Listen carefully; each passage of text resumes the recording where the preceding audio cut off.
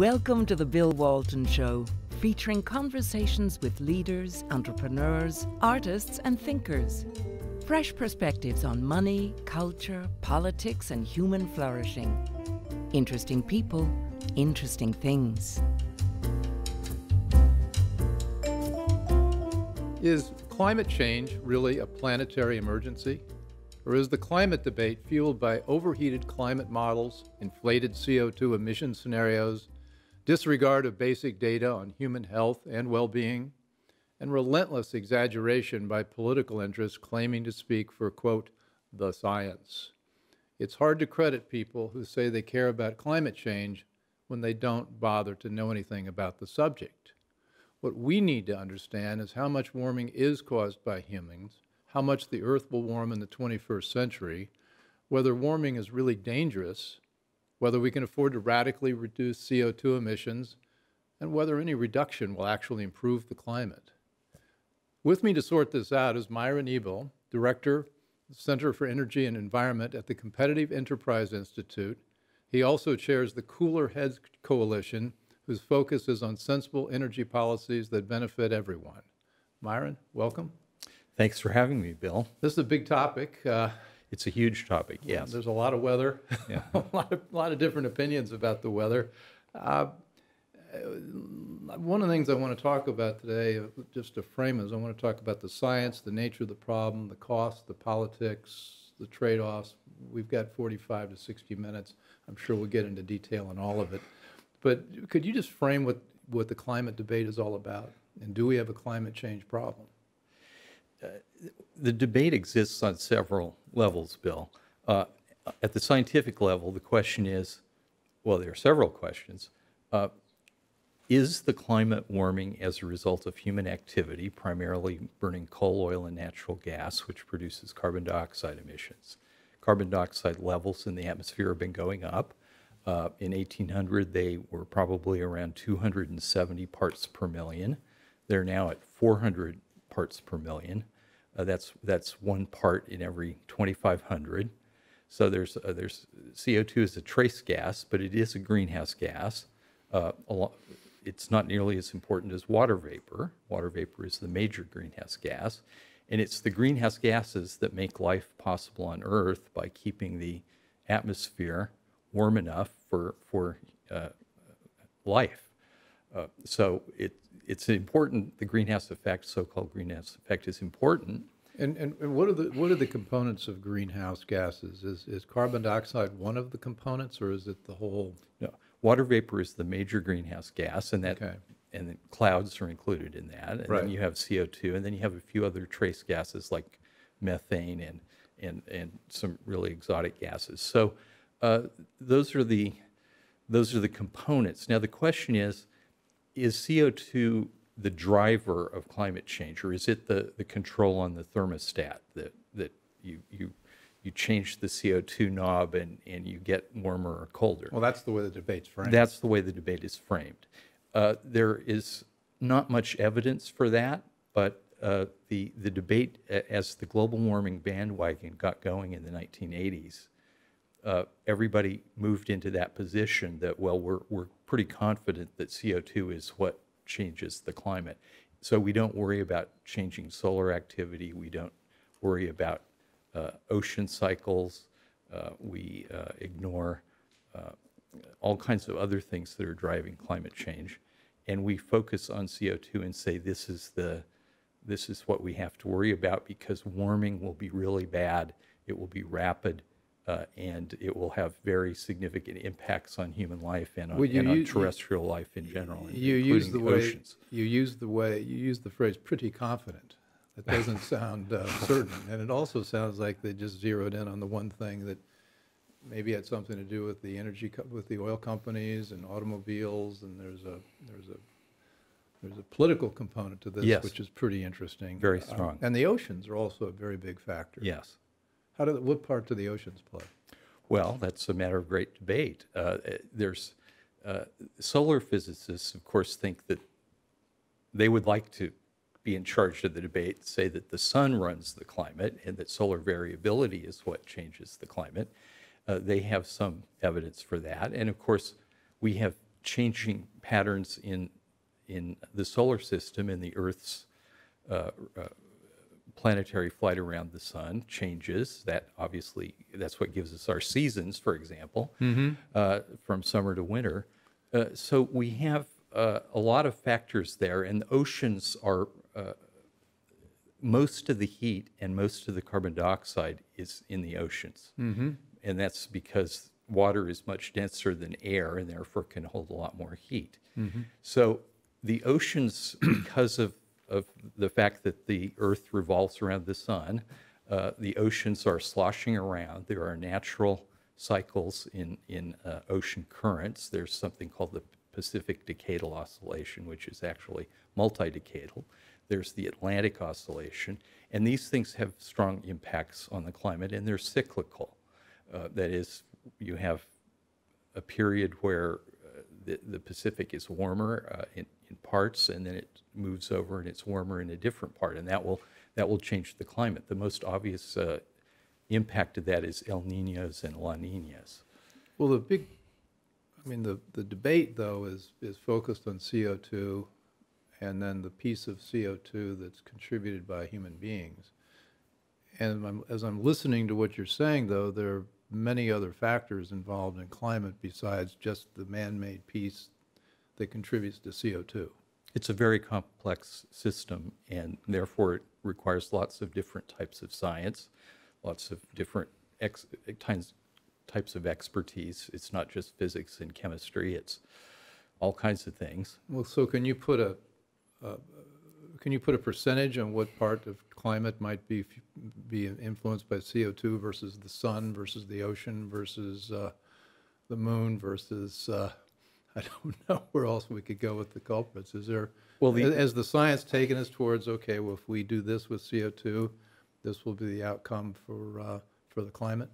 The official climate establishment claims that most of the warming since 1900 uh, can be attributed to human activity, primarily burning coal, oil, and natural gas. Uh, and that's based on uh, very complicated computer models that uh, predict uh, or try to predict what the future climate will be. And, and what they've done is they've tuned these models to past climate change and they then extrapolate that out into the future. Now, the problem with that is that the initial studies on how sensitive the climate is to CO2, varying levels of CO2, this is called climate sensitivity. The initial studies said that the climate uh, uh, concluded that the climate was very sensitive to changes in CO2. More recent studies uh, find much less sensitivity. Uh, the more recent studies, I believe, are much much more credible because they're based much more based on data rather than theory. Uh, and the fact is that the official climate establishment is very resistant to accepting new science. They want they want they want to hold on to the old science that the climate is very sensitive to CO2. Well, the models have been wildly, they've wildly overstated the predicted warming.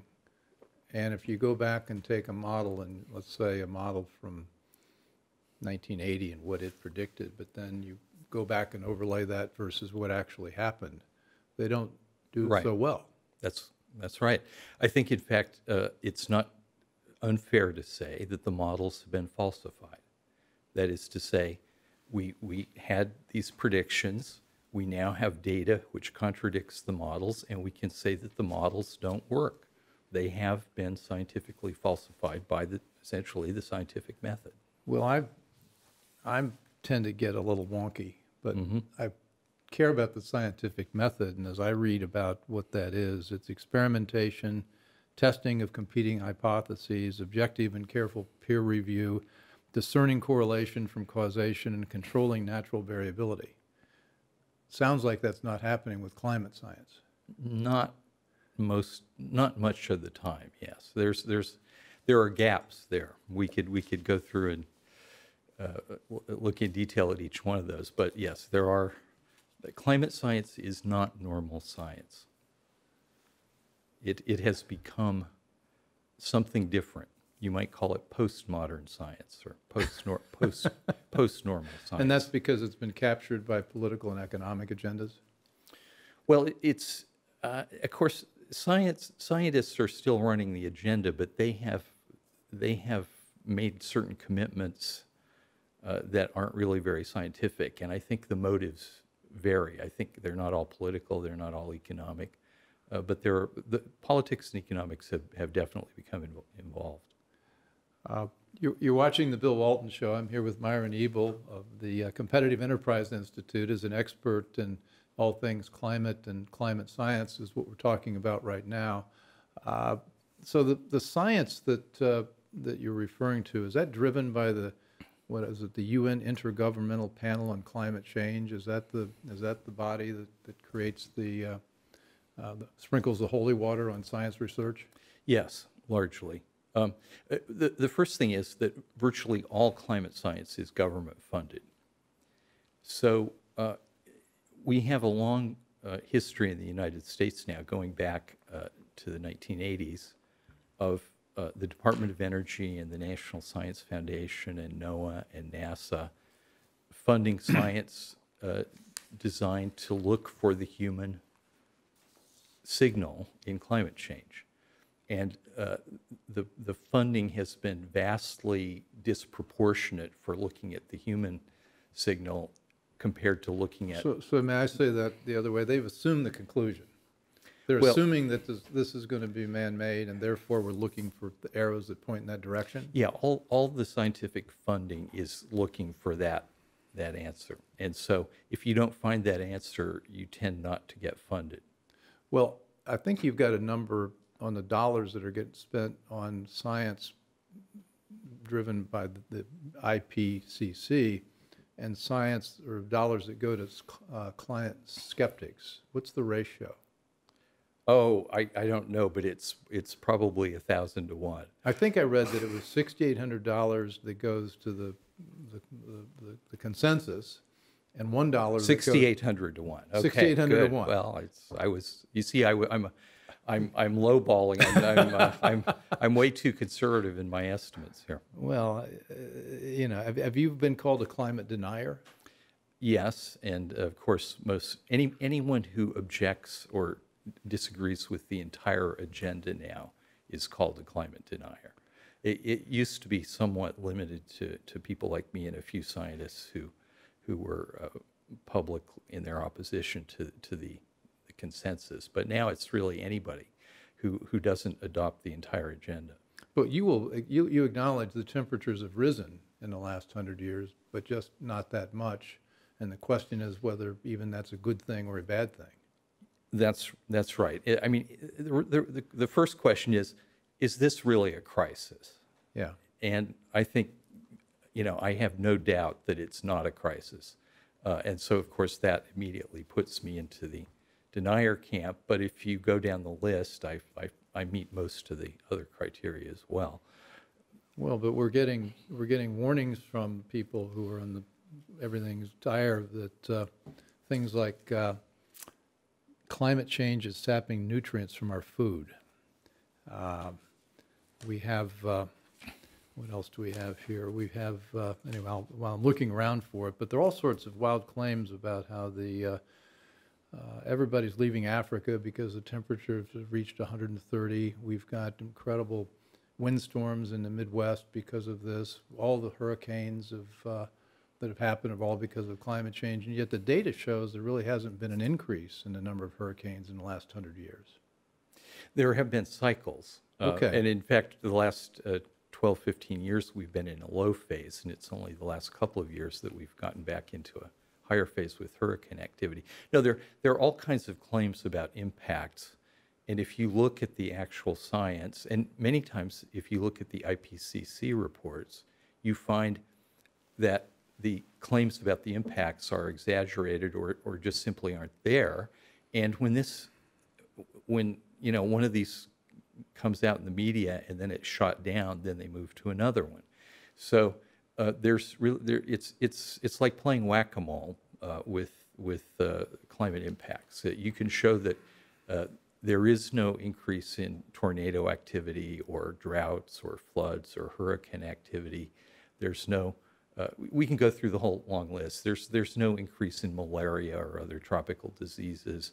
Uh, The polar bears are not uh, uh, declining in number. They're, they've been increasing in number, largely because hunting has been, has been uh, restricted, but there's, there, there are more I- polar bears now than there were in I, I 1950. think I learned there were 5,000 polar bears in 1960, Mm-hmm. and now there are 30,000.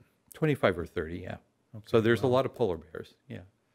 Uh, But that's not what you would gather by listening to the mainstream media and the photos of, of uh, sick and diseased polar bears. So the- i- i- this uh, kind of claim that we are already seeing the impacts is the one, I, I think it's really the Achilles heel of the, uh, the climate movement or Would you see any negative impact from the climate change, from the rise in temperatures that we've seen so far? Yeah, yeah, sure, but they're very minor. I, I think they're they're really strongly outweighed by the benefits of warmer temperatures. By and large, uh, we're in a, you know, we're in an interglacial period. We're uh, we're 13, 14,000 years into an interglacial period. We've had several million years of ice ages, which last about 100,000 years, followed by interglacial periods, which last about 15,000 years.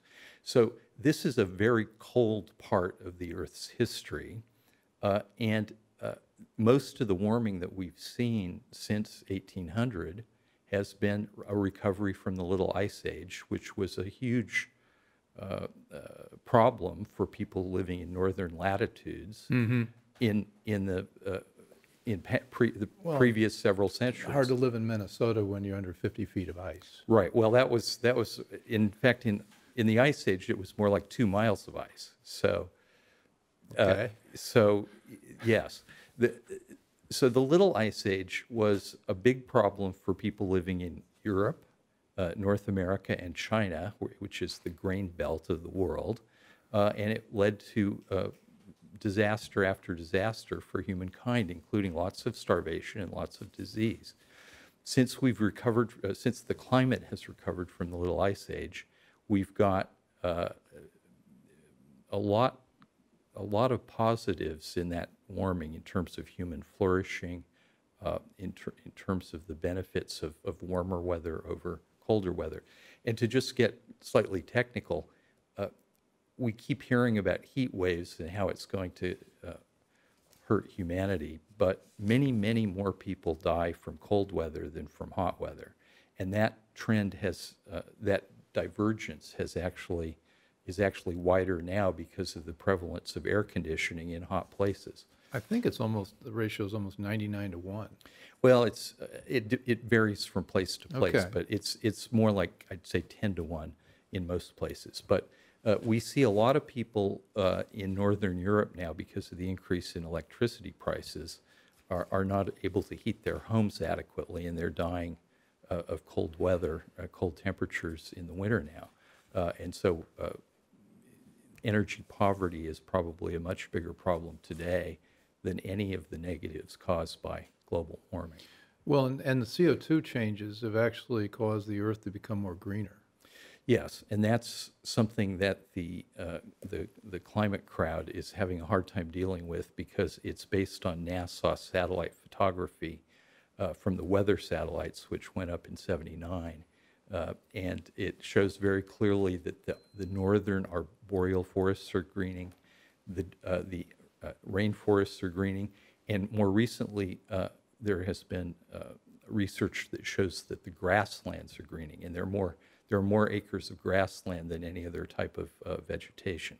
So the grasslands are becoming denser, the rainforests are becoming denser, and the and the northern forests are becoming denser. So the earth is greening. Yet, that's not what we hear. What we're hearing is just exactly the opposite. Uh, I'm, uh, I think the, um, I think of, in the category of extreme weather, um, people have died from extreme weather globally has decreased by 99%. Uh, There's no strength, no, no trend in the strength or frequency of U.S. landfalling hurricanes, no change in flood mag- magnitudes, and also the total areas burned by wildfires have been reduced. So where, where, why, why am I feel like I'm living in a different world when I read this versus what I'm hearing on, say, CNN? You know, CNN during the debate uh, instructed all the candidates, they had, what, that seven-hour debate, where they were talking about the client. The mo- did you watch that? I was counting on you to watch it. Well, I was, about I it. counting on someone else. I was going to leverage your, your, your time, but It's that's, a way, I thought it was a way for CNN to, to uh, lower their ratings. Ellen Tampkin, the public editor for CNN beforehand, insisted the moderators should proceed on the assumption that climate is in crisis and limit themselves to calling for action and faulting inaction. Well.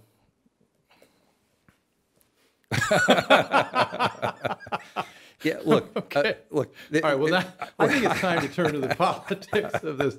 Let me just, uh, you're watching the Bill Walton Show. I'm here with Myron Ebell, Competitive Enterprise Institute, and I'm having my eyes opened about what's really happening with climate, and it's not what I'm reading about in the New York Times. Myron, um, you've talked about something called the, I mean, who's benefiting from the, from the direness that we're hearing about climate? You used a metaphor, I think it had to do with the prohibition?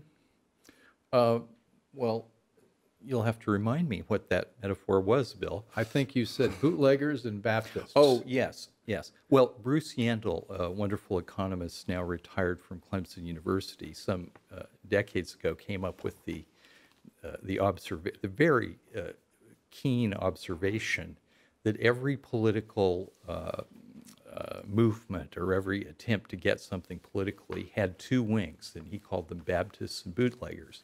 And this was from uh, the the era when uh, people were in, particularly in the South, where there are a lot of Baptists, were trying to uh, to to keep uh, dry laws in their counties in place. So so prohibition was over, but they were trying to uh, to keep uh, alcohol sales forbidden. Well, the the Baptists were for that because they were against alcohol and drinking. They were uh, for temperance.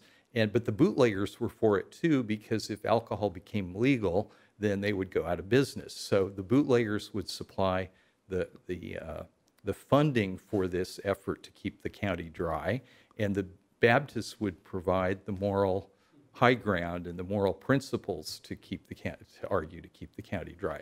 So you see this. Uh, Bruce uh, Yandle has applied this, and others have applied it to almost every political issue, and you see always see that that ev- almost every uh, uh, movement will have Bab- the Baptist wing and the bootlegger wing. In some cases, it's the same people. I mean, Al Gore's a good example of that in the global warming debate. He's he's the He high wins a Nobel Prize. He's the moral spokesman, but he's also trying to get become a billionaire based on selling uh, green energy. So. Uh, Just, just, uh, just on a side note, the studio we're in started life, we believe, local legend has it as a, as a speakeasy. Mm-hmm. And so I guess when they got rid of prohibition, we, they had to find something else to Else do to with do it. with it. And fast forward 80 years, and here we are. Are well, yes. So the bootleggers, in the case of uh, the environmental world, or the, you know, I guess you've got tax credits, and there's all the research dollars going into it. There's the political power that comes from uh, bringing, uh, you know, bringing everything under control to, to fix the climate. And then we've got the wind and, and solar manufacturers and all the other people that benefit from that. Is that, is that pretty much what the, what, is that what the bootleggers look like here?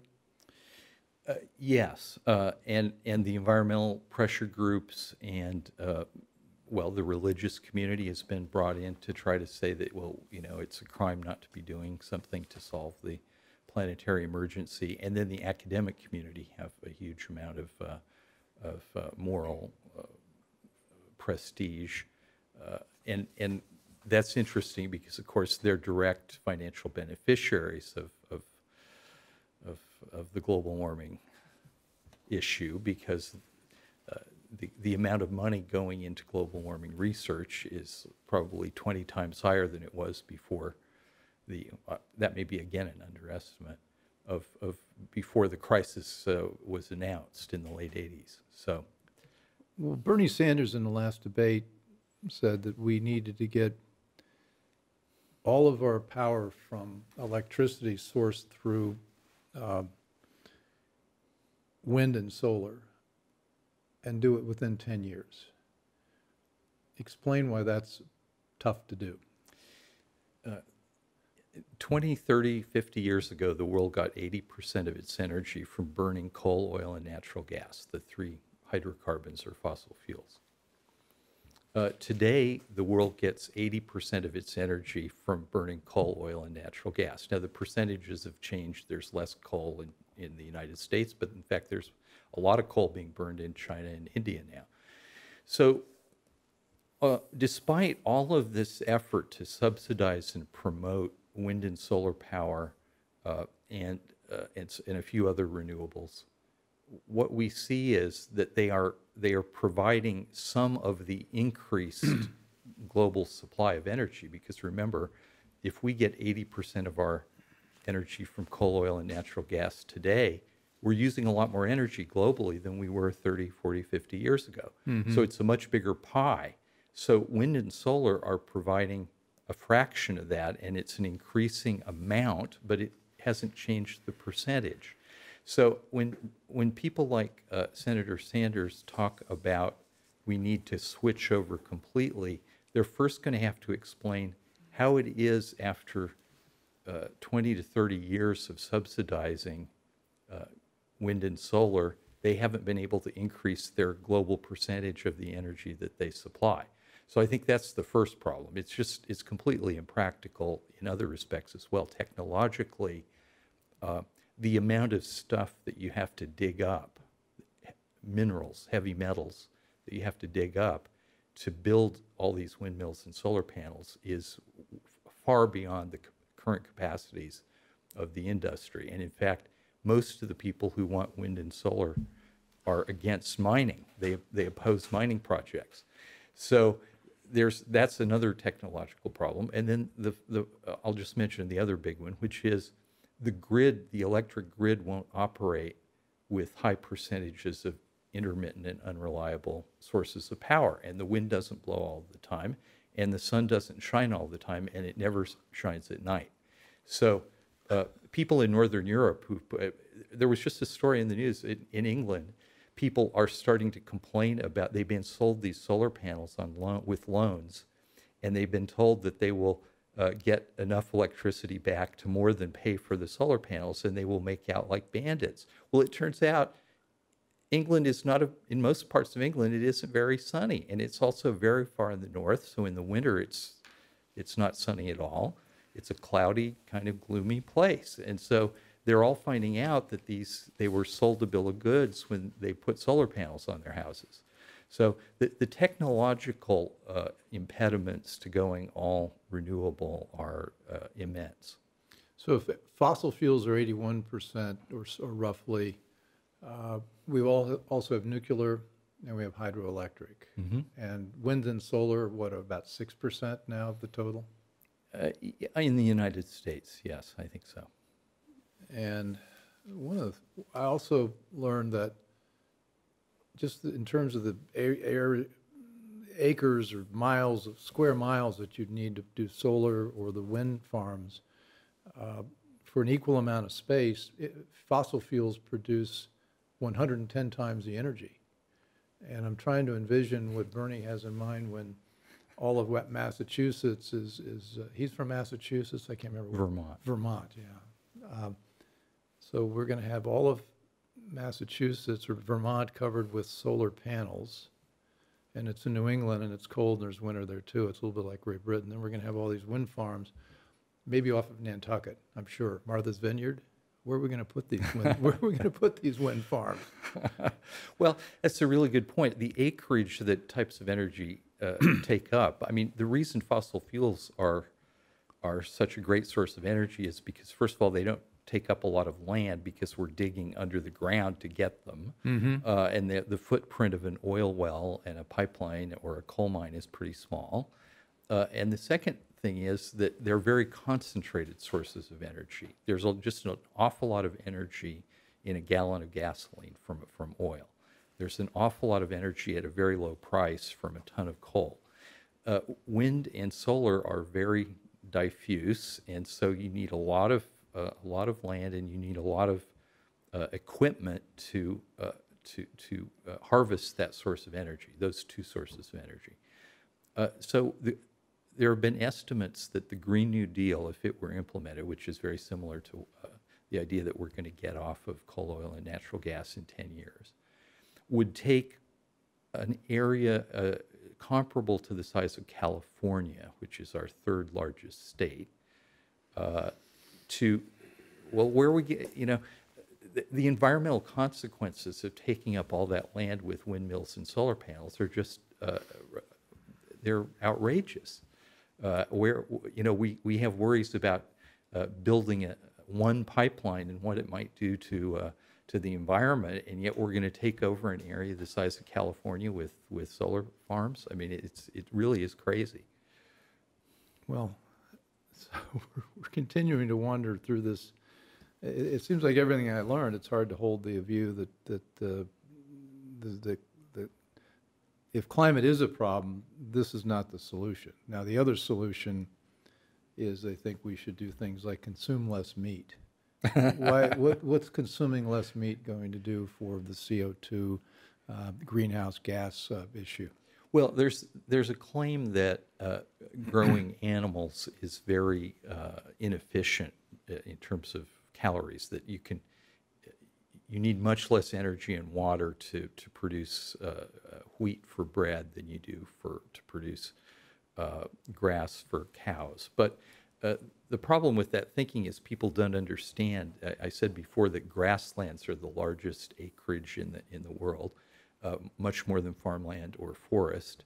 And uh, grasslands is where we graze sheep and cows and goats. And uh, that's if you if you got rid of meat eating, you would be taking out uh, all of the hundreds of millions of acres that are devoted to providing uh, pasture for animals. And so uh, this would put a huge amount of pressure on our farmland to produce uh, essentially the calorie most of our calories come from rice, corn, wheat, uh, and uh, so we would have to vastly expand uh, the amount of farmland to to get enough calories for the world's population. So this is. Uh, this, this people people don't understand where our food comes from when they start talking about we need to two, stop. Two phrases meat. jump out. I'm trained in economics, and you've got opportunity costs Yes. and unintended consequences. Yes.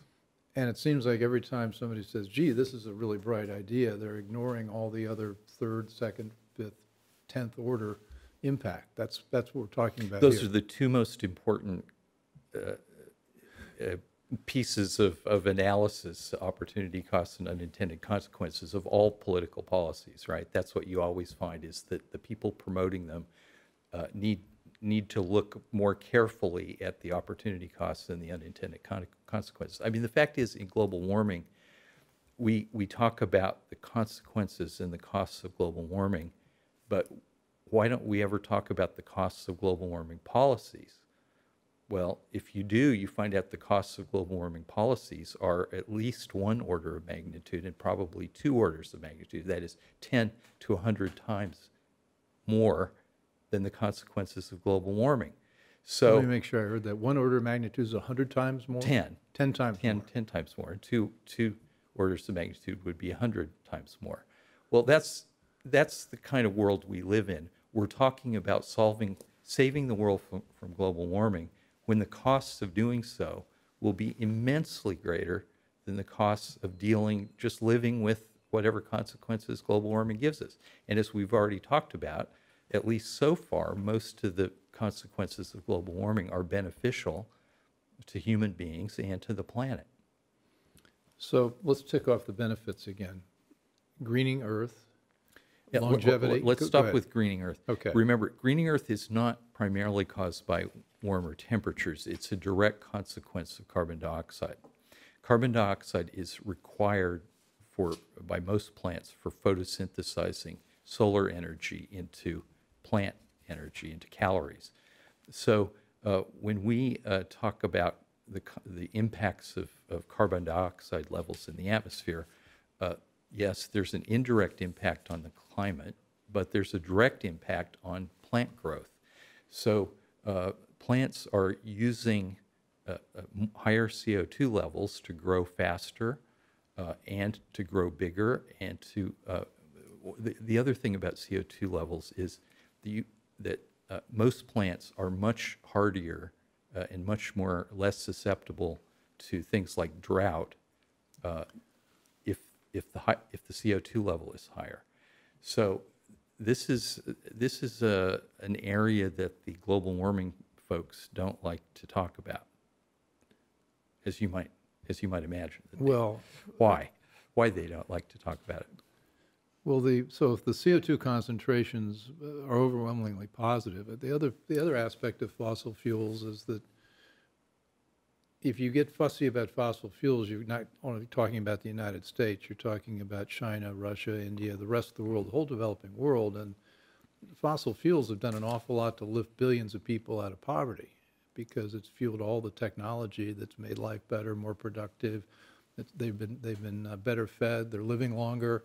Uh, the incidence of disease is lower. I mean, it- it- it's sort of, it's sort of like if you had to invent a magical uh, thing that would, that would, that would cause human prosperity, you'd call it fossil fuel.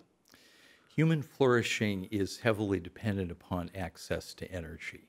If we don't have access to, to affordable energy, then uh, we're going to live much more miserable lives. And uh, you know, most of most human most energy used to be provided by human labor and and draft animals.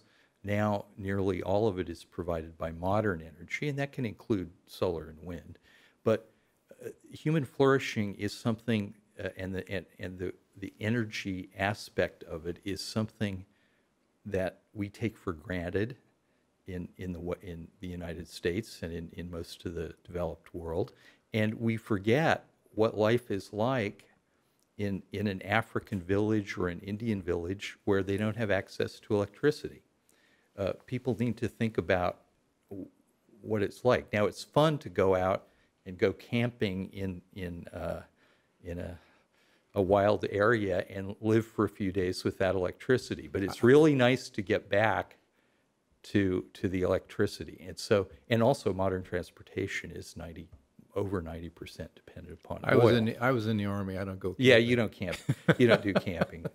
Uh, so, so people forget the, that human flourishing depends upon energy, and that the problem in the world is not that we have too much energy; it's that we have not nearly enough. There's still uh, uh, uh, over a billion people who don't have access to electricity, and there's still uh, probably three billion people in the hot countries like India and Indonesia who don't have access to air conditioning. Well, life, you know, even here in the United States, uh, air conditioning continues to become a push northward. I mean, people in Michigan and and uh, and North Dakota have air Did- conditioning Didn't some now. state just recently mandate that everybody will have air conditioning, and they made that a, uh, an entitlement? Uh, Or that's, was I just dreaming that? I don't know. I mean, Seems likely it's going to Ca- happen. California's uh, cities are starting to ban Yeah. natural gas hookups, so that's that's the other side. of We have two political movements here in this country. One is is for more energy and for the benefits of energy, and one is for you know less less energy and But without consequence. without consequence. Without consequence. right, that's right. Well, I don't, you know, I want to probe a little bit on this, the impact of fossil fuels, which I'd never really thought about. You think about the Industrial Revolution lifting billions of people out of poverty more recently in the 21st, 20, 21st century rapidly.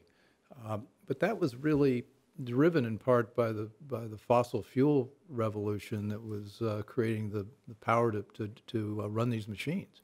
Yes, I I, mean, and, and and think about it. Before railroads and before cars, uh, we we take mobility for granted as well as as having well heated and well cooled houses and well lighted uh, streets and well lighted houses. Uh, mobility was was really only for the upper class uh, until until steam engines started burning coal and they built railroads. Uh, you know, most people, if they wanted to go somewhere, had to walk, and if you were well off, you could have a horse, and if you were very well off, you could have a carriage with horses. But today, people in this country just take it for granted that they can get into their car and drive across the country.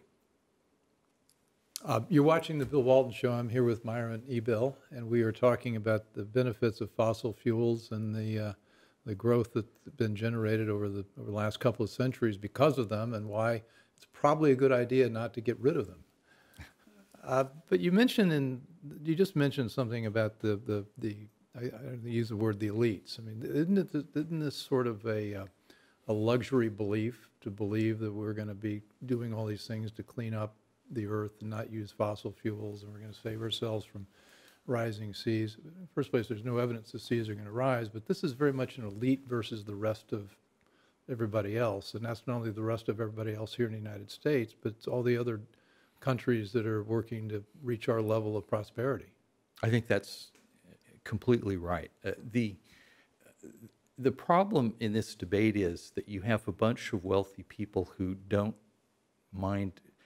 Well, first of all, the percentage of income that you pay on ener- for energy, both for electric electricity, for heating, and for your car or other mode of transport, the percentage that you pay is much higher among poor people than it is wealthy people. And that is to say that, okay, you may live in a big house and somebody over here may live in a small house, but the percentage you pay on heating and cooling is very similar. So wealthy people don't understand that energy costs are really important to people lower down on the income scale because if their if their electric bill doubled and their uh, transportation bill doubled, it wouldn't bother them very much. Uh, but if you're uh, lower middle class and below uh, in terms of income, you're going to find that people are very sensitive to increases in energy costs, and that's why when the price of gasoline goes up, we have recessions in this country, and that's why uh, people who, when they are polled about global warming, uh, the, the majority of Americans think we should be doing something about global warming, and then if you ask them how much they would be willing to pay for it, it tends to be one between one and five dollars a month. Well, Oh.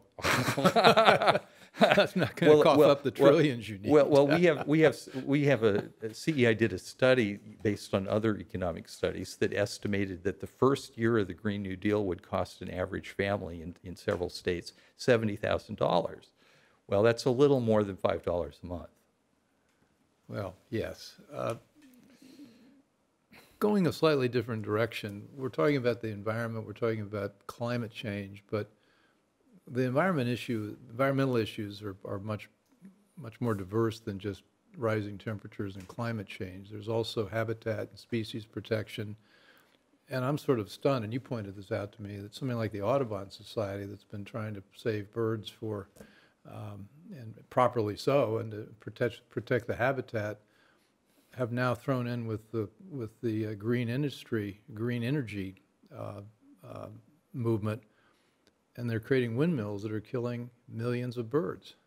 How, and so, okay, I'm, that, that's an aside really, but my, I guess my other question is, can you separate climate change from habitat and species protection? Well, you know, the, the claim is that, that, if- that the Audubon Society is now promoting is that, that global warming will do more to damage the habitat for the birds that they care about than uh, uh, uh, hundreds of thousands of windmills. Okay, You've already convinced me that's not true. Well, that isn't true. Uh, Okay. So the, I think the environmental movement has a problem. They were, they were not the initiators of, the- of the global warming fad, uh, and they were in fact reluctant to get onto the bandwagon. But once they did, uh, what's happened is that all of the other environmental issues, many of which, are, as you point out, are actually serious and there are real questions to debate here about how to better protect the environment. They're now totally on the global warming bandwagon, and we've uh, they've they've essentially uh, ignored or given up on uh, a, a wide array of, of environmental issues that they're you know they probably should be caring more about than they are about global warming. What are those issues? Well, uh, I, I, I don't want to sound like sound like a green, so I'm going to say that. Well, the- we're all, we're all, we're all environmentalists. I mean, nobody, it's like, who in the, who in the world believes in dirty air and dirty water? I mean, it's not exactly, uh, I mean, everybody in a certain sense is an environmentalist. So Yes. go, if you want to go green, it's good, it's good with me. Well, uh, in the first place, uh, it- you mentioned dirty air and dirty water. Uh, Yeah. The the fact is that the, the environmental legislation passed in the uh, 1960s and 70s, the Clean Air Act, the Clean Water Act, have been largely successful. We have the cleanest air and water by and large in the world. The initial EPA regulations were terrific. Well, they could Okay, have well, I been. may they go a little little They could have been well, better, you- you- but, yeah. but, but they have. But they did their job. they have it, it, the costs in many cases have Yeah. been uh, e- extravagant, but they did their job. So we have, by and large, we still have pockets of air pollution. We still have areas that have uh, uh, where water pollution is a problem, but by and large, we have the the cleanest air and water in the world. So uh, the question is, what is the environmental movement supposed to be doing if they've accomplished their purpose? And on, on the pollution front, they've moved to calling carbon dioxide a pollutant. Carbon pollution is now what we're fighting. And so that's, that's the, the kind of move that they've made. On the, on the land and, and critters front, uh, they have basically decided that habitat protect, protecting uh, the environment for wildlife is less important than saving the planet from global warming. Wow. So, uh, you know, they, they, they have a they have an identity crisis, I would say, uh, in in the movement. Because I had, I had Ron Maxwell and Skipper Darlington on. Skipper's got something called AS, Africa ASAP. He's trying to save uh, elephants in Africa from poaching, and it's a very important thing he's doing. And it got me aware of, go ahead. Well, you're- you're absolutely right, Bill. But the problem in Africa is the lack of defined property rights, uh, and and we have that to some extent in the American West, where the federal government owns all the land. But in Africa, the the lack of, of property rights and private property ownership uh, has meant that it's very difficult to protect wildlife. And, and the poaching issue could, would go away, and it has gone away in countries that have assigned ownership of elephants and other wildlife to the local villages. So if Africa were owned by private landowners. Or by protect- village- or by village villages- By villages who had their own defined property, they would protect the elephants. That's right. And that, that in fact was what was the case in Zimbabwe for a number of years until Mugabe uh, completely destroyed the country. So we've been talking about helicopters to surveil poachers. It's a better idea just to get to define property If rights the- so if- that people take care of it themselves. If the local people own the elephants, they'll make, they'll make short work of the poachers. Uh, coming back to their metaphor, bootleggers and Baptists, uh, the- you talk about the mission drift. You- I've got a list here of environmental groups and their funding, and there's hundreds and hundreds, of, if not billions of dollars that go to these groups. And if they've solved their primary mission, which say is pollution, then they redefine the mission to include CO2 so they can keep the funding coming. So there's a certain amount of self-interest to redefine the problem so they can keep donors agitated to send, send money. In other words, this works a lot like the left and the right in terms of gin up uh, uh, Absolutely. the base. Well, and uh, the environmental groups have changed dramatically. for- uh, Their funding has changed dramatically. When they first started out, they were grassroots groups that, the Sierra Club is a good example. Uh, They have a lot of members, and members paid their dues, and that's how the organization operated. Then they got into direct mail fundraising, and so people who weren't perhaps uh, didn't want to be members, but they wanted to give money for a cause. Uh, that's changed. Now, almost all the environmental groups are primarily funded by major charitable foundations. These charitable foundations are multi billion. Pew Charitable Trust is the classic example. Pew, of course, was founded by the Pew family on the basis of the Sun Oil Company fortune. Uh, so, so it, it- big oil is is funding uh, a large part of the environmental movement. You see it also with the uh, the Rockefellers, uh, Stan- the Standard Oil mega fortune. Uh, they're they're they're key. They're they don't have the biggest amounts of money, but they're key. Uh, and now Silicon Valley, uh, the Hewletts, the Packards, uh, and several others are, Tom Steyer's a, a more recent example, they are now funding uh, the, the environmental movement. So it's become an elite movement. It doesn't represent the grassroots. It doesn't represent normal people. It represents the interests of uh, the, the, the wealthiest people in this country and the foundations that they control. Lines of action.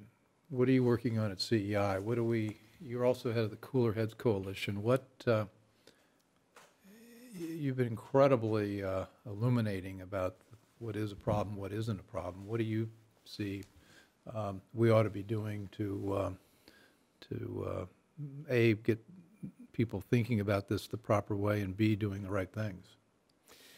Uh, there's still a great deal of uh, skepticism in the American public about about global warming being a crisis.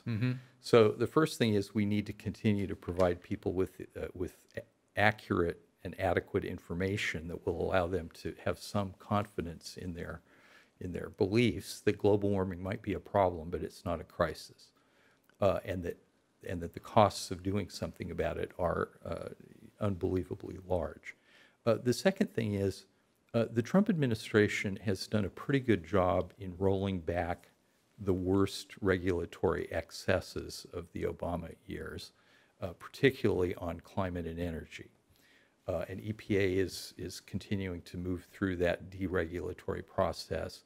The federal lands and offshore areas are now under the Interior Department. They're still allowing oil and gas production. They're trying to encourage it. So we're now the world's energy superpower. We produce more oil, natural gas, and coal than any other nation in the world. So uh, that, that wasn't the case 20 years ago, uh, but it is today, and that's providing immense economic benefits. But th- I think the real problem is that the Trump administration and uh, the Republicans in Congress were also complicit in this, have not taken on the official science. We have not only the, uh, the United Nations official government rep- scientific reports, the IPCC, the Intergovernmental Panel on Climate Change, but we also have this thing called the U.S. Global Change Research Program, which every so often produces a national climate assessment. The, the administration has not done anything to change the, uh, to improve the preparation of these reports, and they haven't taken on the major regulatory obstacle, which is called the endangerment finding. Well, I should say there are two. President Trump got us out of the Paris Climate Treaty. It was uh, one of his campaign promises. He's done it. He's, he's, he's in the process of doing it. But the Paris Climate Treaty could come back if, uh, whenever uh, a different president occupies the Oval Office. So that's one problem that, we're working on. And the second is this thing called the endangerment finding. Do you want to know about the endangerment? I do finding? want to know about the endangerment finding. Well, in 2007, I also want to ask you about the Paris Treaty, but let's do the in endangerment finding. 2007, the, the, the Supreme Court ruled five to four in a totally incoherent and, and pathetic decision that the Clean Air Act allowed uh, the regulation of greenhouse gases, primarily carbon dioxide, and that the EPA then needed to decide whether the Clean Air Act was an appropriate uh, uh, legislative and regulatory tool for regulating greenhouse gas emissions and whether they should go ahead and do it. So uh, that was in 2007. In two, late 2009, the Obama administration, the EPA ruled, made a ruling that greenhouse gas emissions endanger public health and welfare. Endanger, that's the endangerment finding. And therefore, they could go ahead and regulate greenhouse gas emissions, primarily carbon dioxide from burning coal, oil, and natural gas, under the Clean Air Act.